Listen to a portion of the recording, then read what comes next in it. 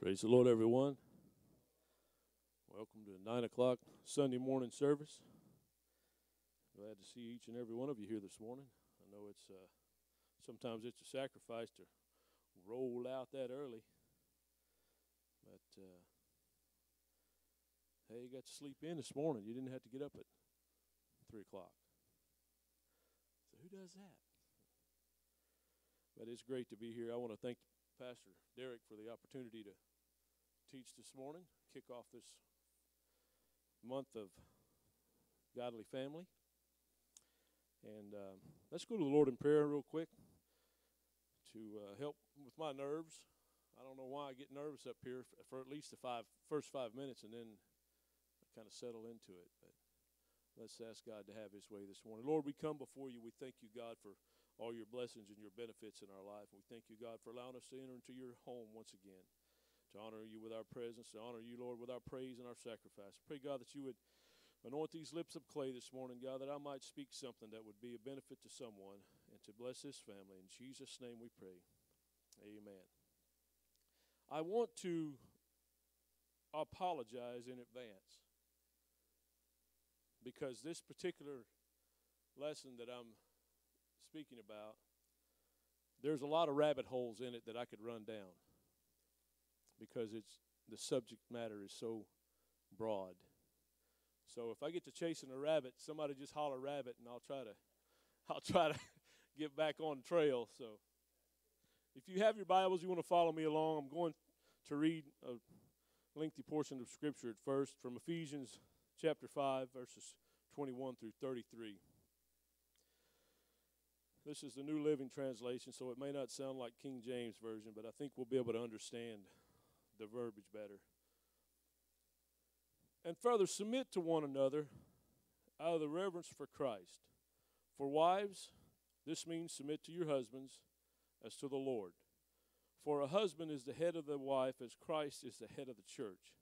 He is the Savior of his body, the church. As the church submits to Christ, so the wives should submit to your husbands in everything. For husbands, for husbands, this means love your wives, just as Christ loved the church. He gave up his life for her to make her holy and clean, washed by the cleansing of God's word. He did this to present her to himself as a glorious church without a spot or wrinkle or any other blemish. Instead, she will be holy and without fault. In the same way, husbands ought to love their wives as they love their own bodies. For a man who loves his wife actually shows love for himself. No one hates his own body, but feeds and cares for it, just as Christ cares for the church. And we are members of his body. As the scriptures say, a man leaves his father and mother and is joined to his wife, and the two are united into one. This is a great mystery, but it is an illustration of the way Christ and the church are one. So again, I say each man must love his wife as he loves himself, and the wife must respect her husband. And he did not leave the children out. Ephesians, the sixth chapter, verses 1 through 4 says, Children, obey your parents because you belong to the Lord, and this is the right thing. Honor your father and mother. This is the first commandment with a promise. If you honor your father and mother, things will go well for you, and you will have a long life on earth. Fathers, do not provoke your children to anger by the way you treat them. Rather, bring them up with the discipline and instruction that comes from the Lord. Now you realize why there's a lot of rabbits. The order of the home, if they could uh, put that photo up there. Didn't get it? All right, no worry. It, I had a uh, I don't I don't think I loaded downloaded it right for him, but it was an umbrella, a large umbrella, and three smaller umbrellas underneath it. The top umbrella is Christ. God. He's the first layer of protection, the first layer of covering for our family. Everything else falls underneath Christ. Falls underneath God. So, and then underneath the underneath Christ, underneath God himself, is the Father. The Father is the first layer of protection for the family. The Father's job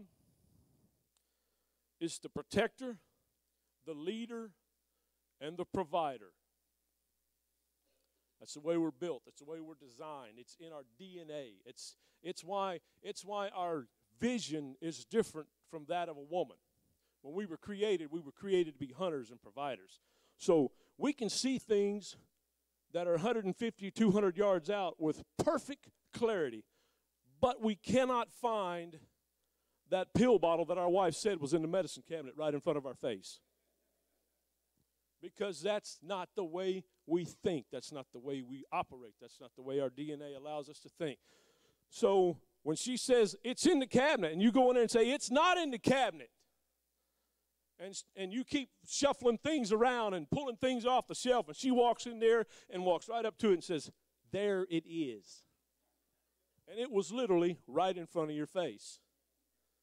We were on vacation this past year, and we were staying in this nice place, and there was a pantry there, and I said, Where's, I don't even remember what I was looking What was that? Ziploc bags. I'm looking for Ziploc bags. She, she remembers. So I go to the cabinet. She said, They're in that cabinet on the second shelf. I go to, and I'm standing there looking at the second shelf. I mean, I'm honed in on it. And I'm purposely, in my brain, I'm thinking, I'm going to find these Ziploc bags. I'm not going to ask her again where these Ziploc bags are. And I was literally looking at them, but I did not see them. She said, Babe, they're right there. I said, Don't point to them. I want to find them myself. I want to make, I want to pass this test. I want to get through this. But that's the way we're designed. We're different. We are the provider. We're the protector. We see things that are coming. We see things that are far away.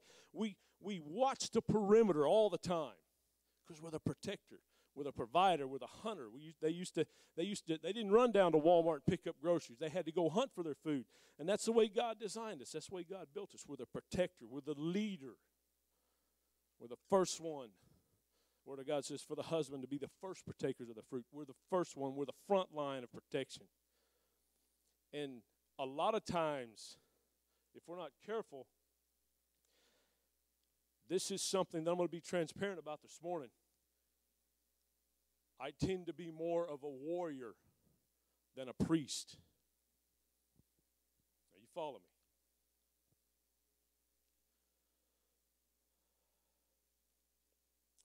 we have to be careful not to just be the warrior, but to also be the priest of the home, the spiritual leader.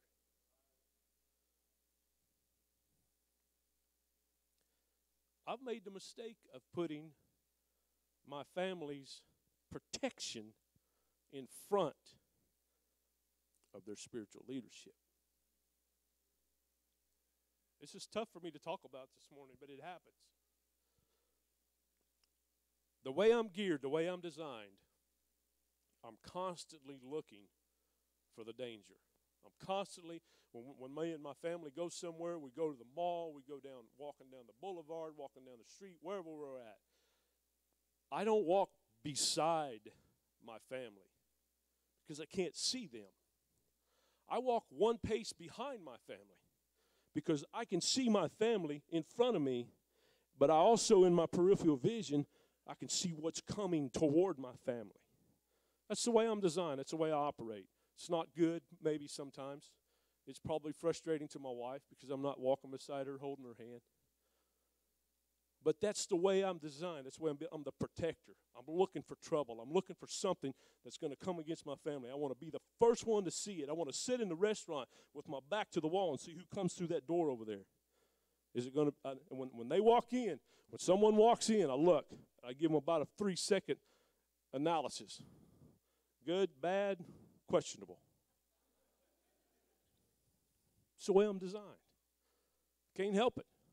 Can't help it. I've tried to change. I can't change.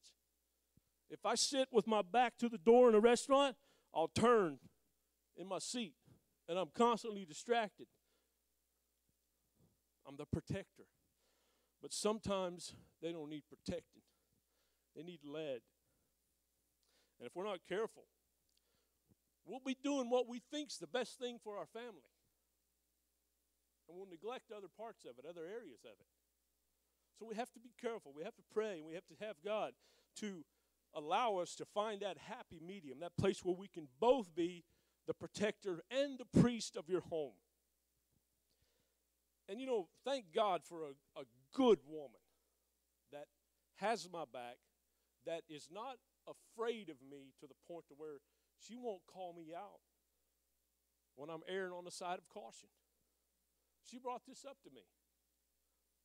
Here in the church, I'm constantly looking around. I'm not staring at you, I'm watching the doors. I'm looking because I've been in situations and scenarios where the church was in danger. And so, man, when that door opened, I'm looking. Who just came in? Who just went out? And I analyze them. The warrior in me wants to protect. But here lately, when it's not my time to be on the security team or be on in the hallway patrolling or being the usher, I'm thinking, I got good men that's got my back. I'm going to worship God this morning. I'm going to praise God with everything that is in me because I got children that are coming up and they need to know that dad is more than just a fighter. He's a worshiper. He's the one that's out in the middle of the aisle with his hands raised, worshiping God and praising God and giving God glory for what he's done in his life. Y'all bear with me this morning. I'll get through this.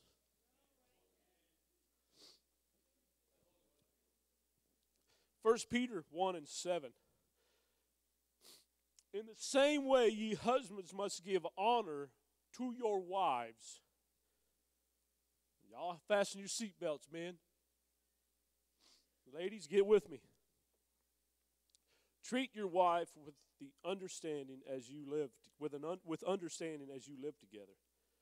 She may be weaker than you are, but she is your equal partner in God's gift of new life. Treat her as you should, so your prayers will not be hindered. Okay, let me ask you something. How valuable do you think your wife is to God that He Himself will stop your prayers if you don't treat her the right way? The Almighty Himself will shut down the heavens on your prayers if you're not treating Mama the right way. Now, I'm old school, Southern gentleman and I will open the door for you whether you want me to or not, lady. I don't care. We were raised. My dad, he would, I'm sorry about that. My dad put my, my mother way up here on a pedestal. Boy, don't you talk, don't you talk, don't you look at your mama like that. Now, I had a problem with that because as a young child, my dad when he when he would discipline you, when he would talk to you, he wanted you to look at him. Or you look at me when I'm talking to you. You know, when a little four year old kid, you know how they are, they're always wanting to look down at the floor. But dad, he wanted you to look him in the eye. Well, at about six years old, Brother Atkins, I got to where I could look him in the eye, but it wasn't a good kind of look for him. Then he said, Well, don't you glare at me when I'm talking to you. And he didn't want me glaring at mama when she was talking because there was a level of respect that our dad had for our mother. And he always made sure that anybody in his house wasn't going to talk to his wife in that tone of voice. Now, when you get teenage sons, she had three. I had one. I've got a, I've got another one coming up. Every once in a while, because as a teenager, we all have to understand these about our children. I'll follow, um, this will fall into the message here in a little bit. But when those boys get 13, 14, 15, 16 years old, they're trying to embrace their manhood. And when their mother speaks to them in a certain tone, it goes against the ingrained DNA of them that when you get pushed up against, Brother Doobie, naturally you want to swell up, want to go back against it. So every once in a while, when the frustration of being corrected or, or squabbling with his sibling or going back and forth comes out of his mouth directed at his mother, I have to say, hey boy, you watch the bass in your voice when you're talking to my wife like that. Because I want him to respect his mother. And then if he respects his mother and sees me respecting his mother, the godly home, then he will respect his wife. It will be in his memory. I'm going to tell this real quick. When Jamie and I first got married, she would cook a great meal, and I would go through the kitchen. And Lincoln was what, seven maybe? Lincoln was a little bitty guy. I'd go through the kitchen. She'd be standing there by the stove, and I'd, I'd pat her on the backside. I'd say, That's a good meal, babe. Well, Lincoln observed this gesture. So he comes strolling through the kitchen after dinner one night. He said, Good meal, mama. So you got to be careful what you do in front of your seven year old kids because they pick up on these things. And so we've always laughed about that, but hey, you got to you got to let those children see the respect level that you have for your wife. You know, for God to shut down the heavens on your prayers, that's heavy. It makes me stop and pause and think. Now, I've never had a problem with knowing how to treat my wife. Sometimes they're hard to understand. You know, Paul said, live with them and understand him. Sometimes that evades me. You know, I mean, just, I don't understand what's going on. Don't know what the deal is. You got to communicate with them. You got to tell me what, I can't read your mind. You got to say something. You know, we're encouraged, we men are encouraged to talk about our feelings, but we tend to shy away from that because when we open ourselves up, we feel vulnerable. And as, as a masculine man, we don't want to feel vulnerable about anything. We want to be on guard. We want to be protected. We want to be keep everything inside. And we don't share how we really feel. But sometimes you've got to open up to the woman you love. And ladies, let me add this when he does that, create a safe zone for him.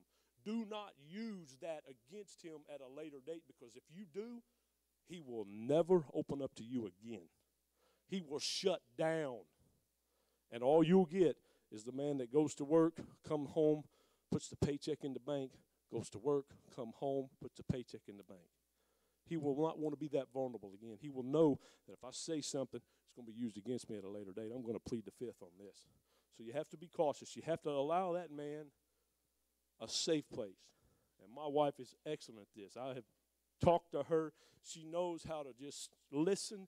And when I'm done, I know it's never going to come up again unless I bring it up because she respects me. I got the best wife in the church. I'm just going to tell you that. I don't know what you guys are going to do about it, but but I don't want my prayers to be hindered by the way I treat my wife. Communicate with her. Let her know, hey, I'm open. I want to say this. Here's how I feel. Here's what's going on in my mind. How do you feel about this? What are your thoughts on this? Understand that they're not dummies. They're just as smart as we are, sometimes smarter. I know my wife is smarter than me. There's no doubt about it. Ask anybody that knows us. There's times when we're talking, and I know I'm well I'm, and I look at her and say, I'm just going to shut up because I know what I'm saying is plumb ignorant and stupid, and you're looking at me like, okay, you're rambling. So, but she respects me enough not to call me stupid. She respects me enough not to make me feel inferior to her, even though she has a master's degree and bachelor's degrees and all kinds of degrees, and I've got a 12th grade education. Now, if we're going to talk about building cranes, I can outdo her. You see, everybody's got their strong points. But listen, let me tell you something. You have to respect that woman. She's the weaker vessel. And you got to be good to her. And don't put your hands on her. It's a pet peeve of mine. God give you that woman to love. Do they need slapping sometimes? Maybe. I'm not saying they don't. Maybe. Do you feel like doing it sometimes? Yes, you do. Because you think in your manly mind, boy, I could slap you so hard right now. But you don't. And you better not.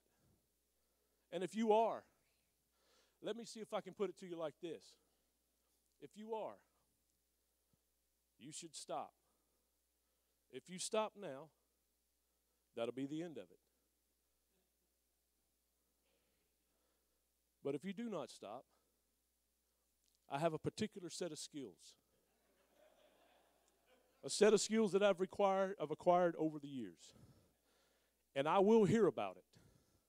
And I will find you.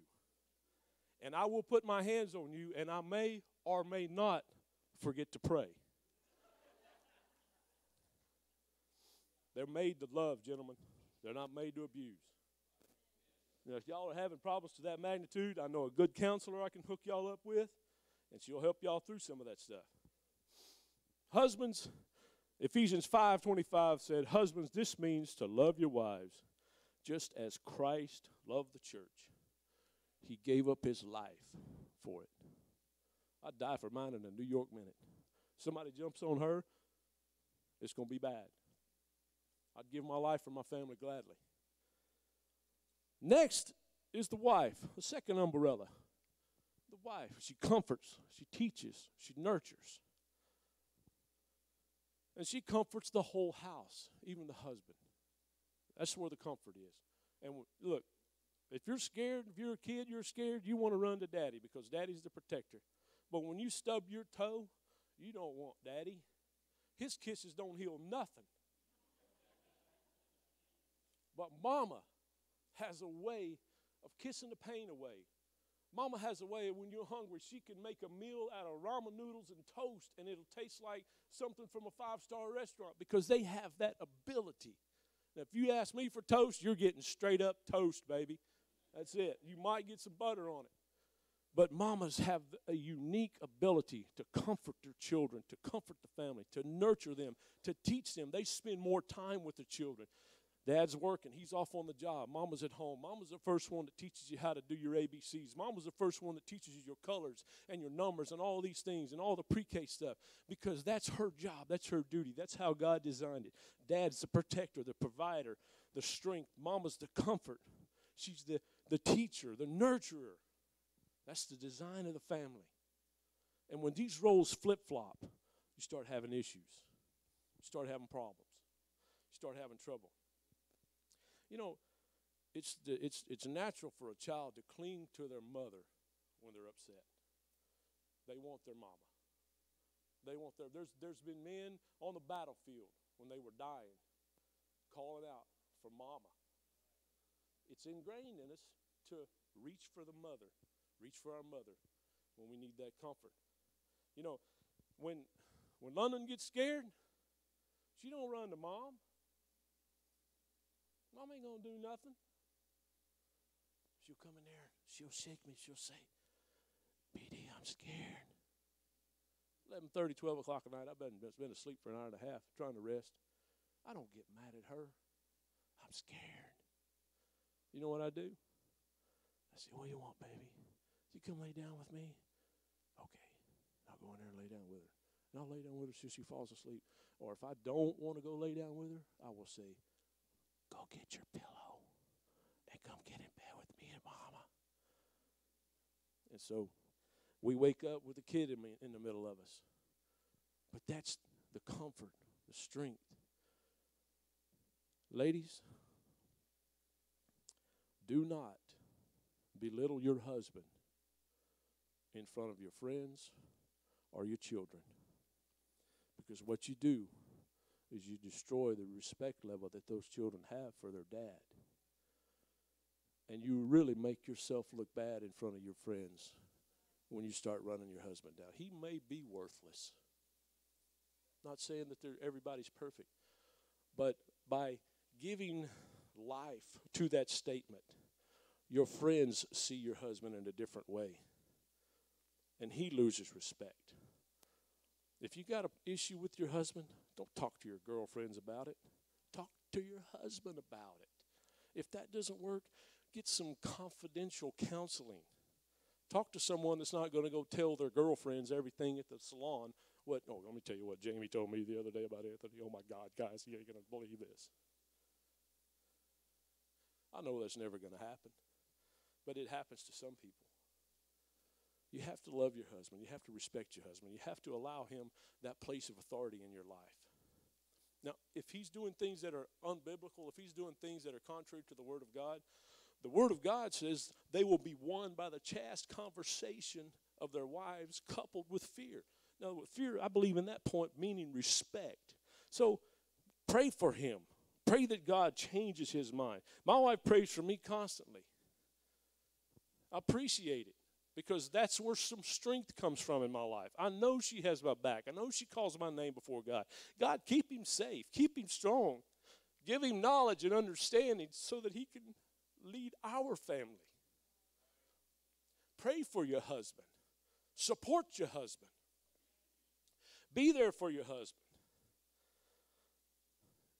It's a two way street being good to one another when both of you learn each other's love language and you start catering to her needs and she starts catering to your needs and try to outdo one another.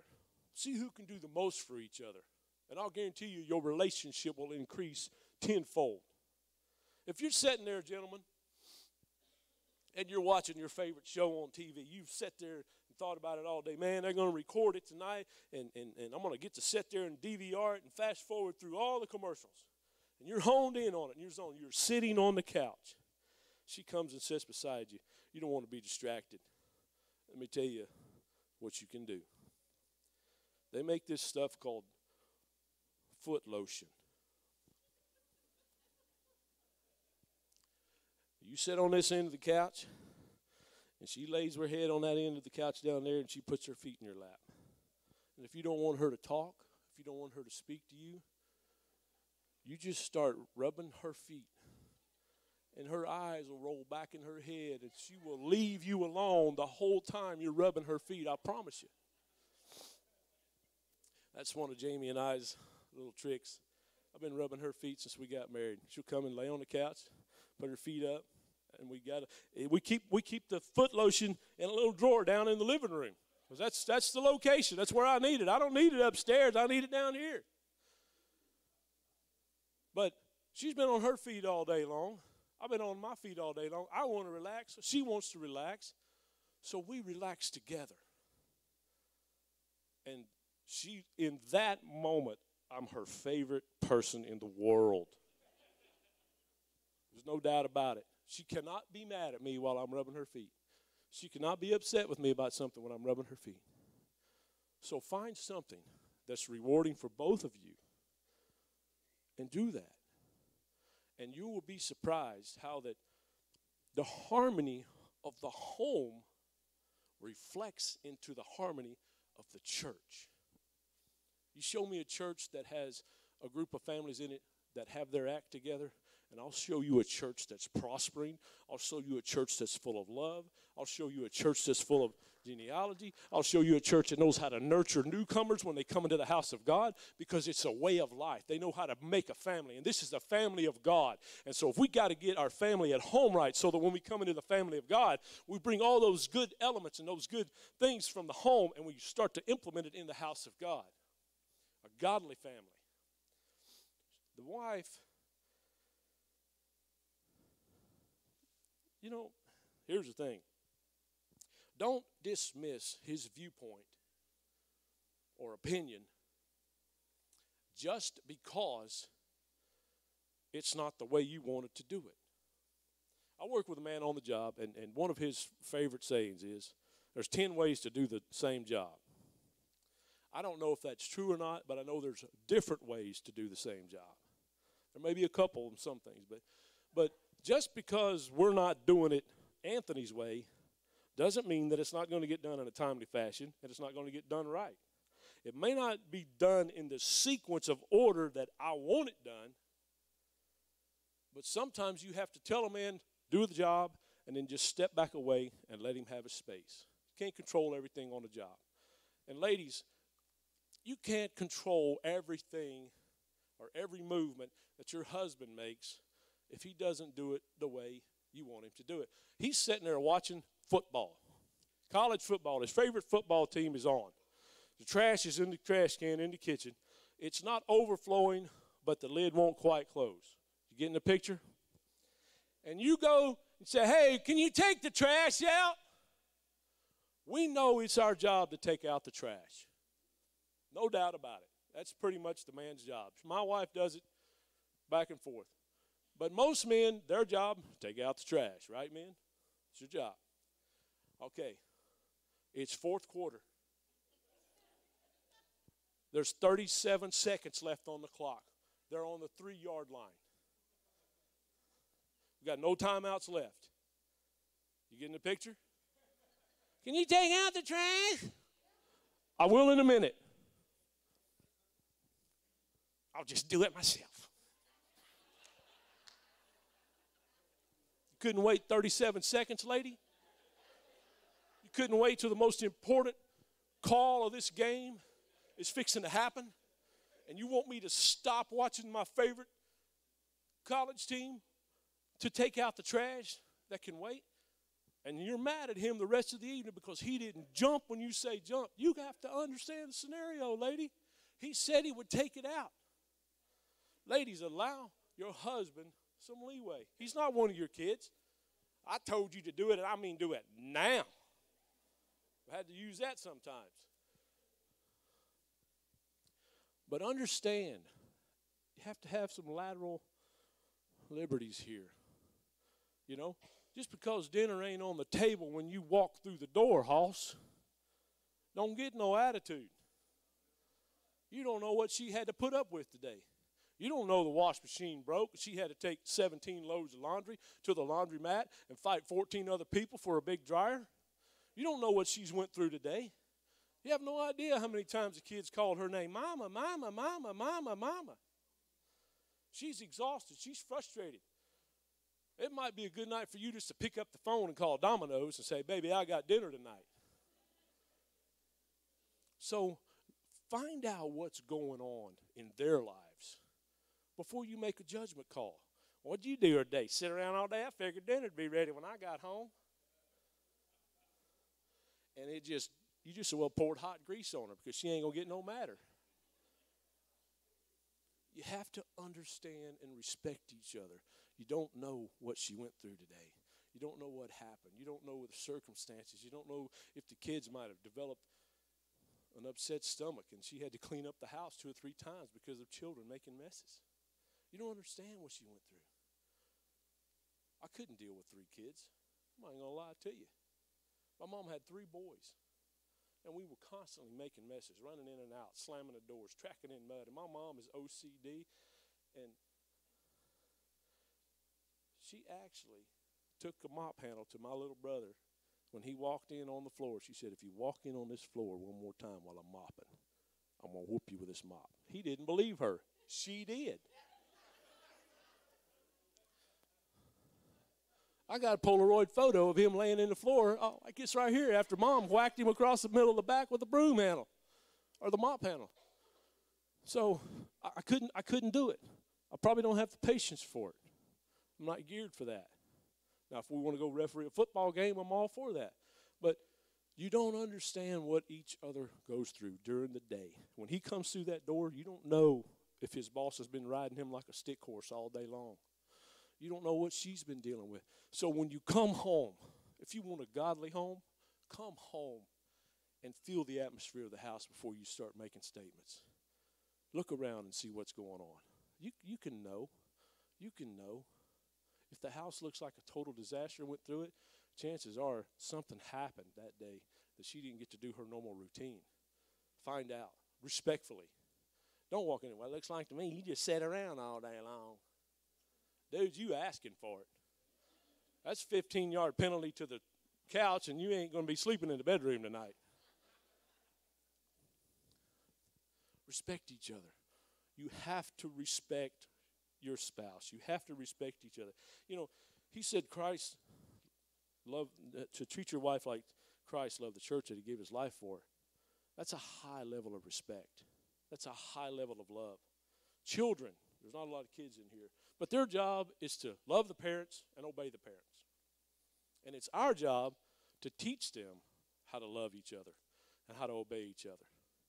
You want a godly home, you have to follow these guidelines. There's characteristics of a godly home, a godly family. Parents should lead by example.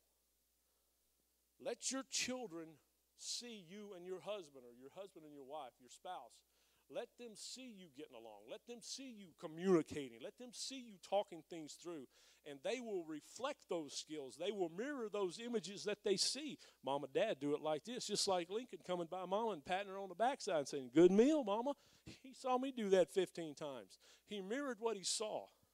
And when they see that love and that affection, you know what? You know where I got it? My dad did it to my mom. Because that's what I've seen over the years. I've seen that love. You know, Jamie's Jamie's uh, love language is, is acts of service. Man, if I take her car, to the car wash and clean it up, I'm getting brownie points, boys. Find out what makes your spouse smile and do those things. Yeah, am I tired sometimes? Do I not feel like it? No, but I have to push myself because I'm trying to please her I'm trying to please God. I come to service when I don't feel like it. Why can't I do things for my wife when I don't feel like it? I go to work when I don't feel like it because it's my job, it's my duty. It's your job and your duty to cater to your spouse. You know, gentlemen, listen to me. Boy, I'm, I'm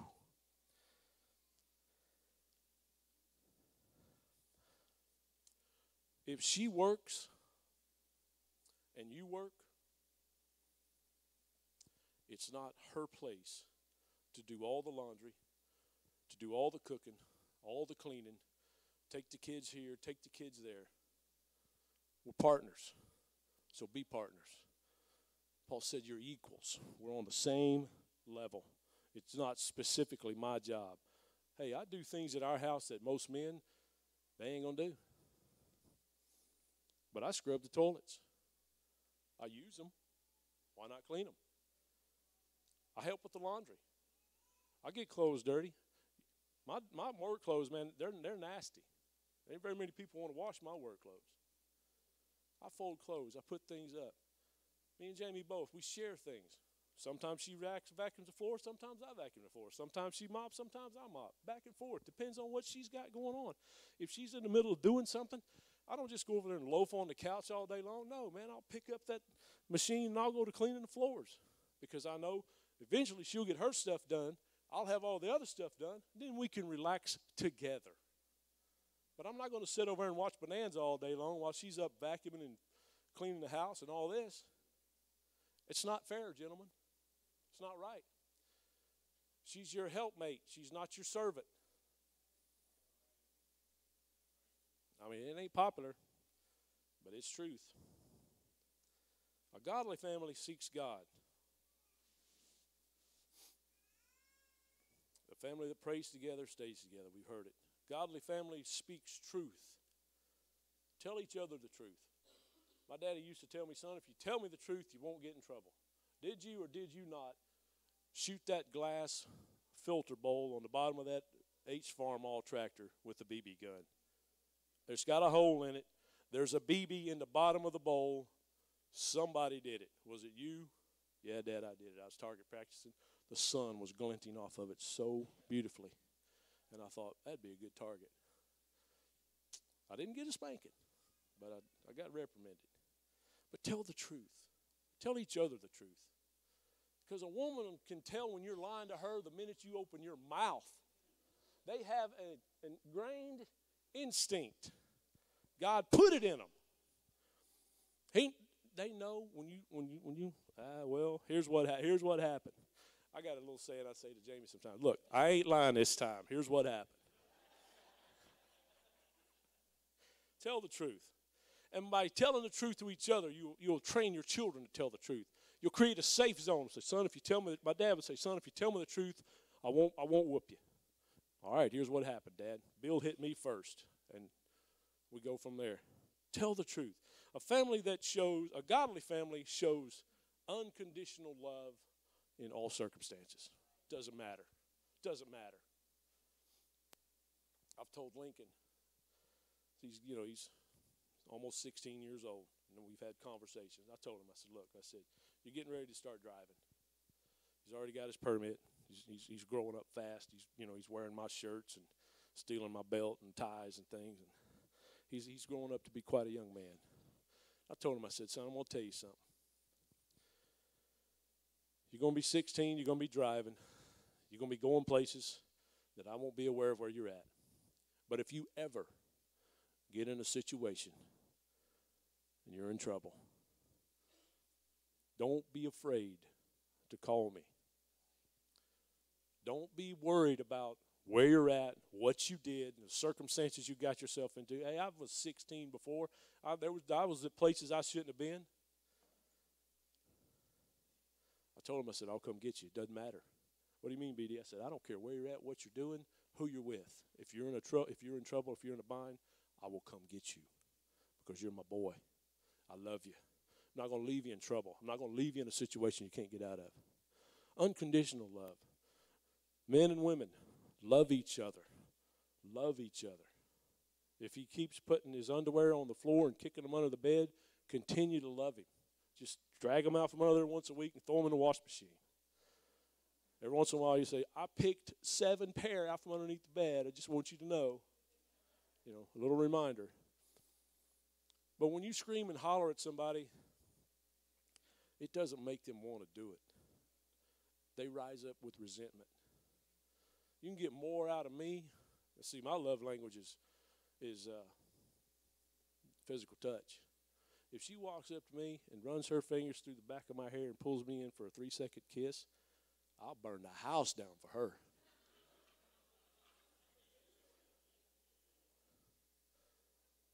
That's what motivates me. You want to find out what motivates them and act on that. Don't be judgmental all the time to one another. Love each other unconditionally. Well, yeah, we're going to make mistakes. We're, we're going to sit there and watch your lips move, and we're not going to hear a word you say because that's the way we are. We can do that. And when you ask us, what are you thinking? And we say nothing, we ain't lying. We are literally not thinking about anything. Don't get mad when he says nothing. Oh, you was thinking about so, you know. You look over at me and say, what are you watching on your phone? And I say, grass cutting, and I ain't lying. I can sit and watch. It's this guy in Tulsa or somewhere that he, he mows people's up overgrown yards for free. You guys know what I'm talking about. I can watch that guy all day long. She asked me, "What are you doing? Watch. What are you watching over there?" I'm watching mow, lawn mowing. They don't have to have to be stimulated. Now she can she can watch a movie, help the kids with the homework, and play a game on her phone at the same time. And if you miss something in the movie and get ready to pause it and rewind it, you don't have to. She can tell you. She's got a three track mind, not a, not a one track mind. Me, I got a half track mind on one side, just where these two wheels are going. But we have learned to live with each other in harmony. Learn your, your spouse. Learn each other. Be sweet to one another. We were driving to Ruston. London fell asleep in the back seat, was going to football game, watched Lincoln play. She wakes up. She said, Man, I slept the whole time. Jamie said, Yeah, you slept through me and BD fighting. BD's what they call me for bonus dad, in case you don't know. She said, You slept right through me and BD fighting. She said, Yeah, right. She knows we don't fight, we don't argue. Now, I know y'all find that hard to believe me being who I am. But we don't. We respect each other. Have we ever been upset with each other? Yes. Has she ever said, We need to talk? Yes. And she mostly talks and I mostly listen. But that's how it is. You don't have to scream and holler to accomplish anything. When our children's friends come to our house, they don't want to leave. Because there's harmony in our home. And I'm not bragging about this. It's it's a God thing.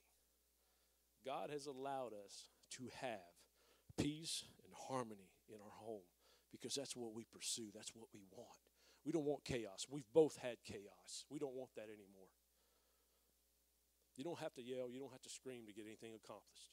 Use your words, use your inside voice. Talk to one another. Get to get a get a home to the point to where when people come over, they feel at home. They fall asleep on your couch because it's peaceful. They enjoy being there because it's it's harmony.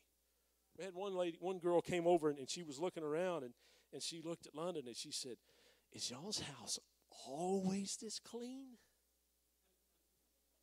And I'm like, Why is yours not? You know? Because a godly home is a clean home. A godly home is full of love. A godly home is full of harmony. Love each other, respect each other. Follow this order, the biblical order of the family Christ, husband, wife, children. Protect them, love them, comfort them, teach them. And don't forget that you have children in the back. And I'm running out of time. So thank you so much for your attention. Thank you for being here this morning. Don't forget your children. God bless you.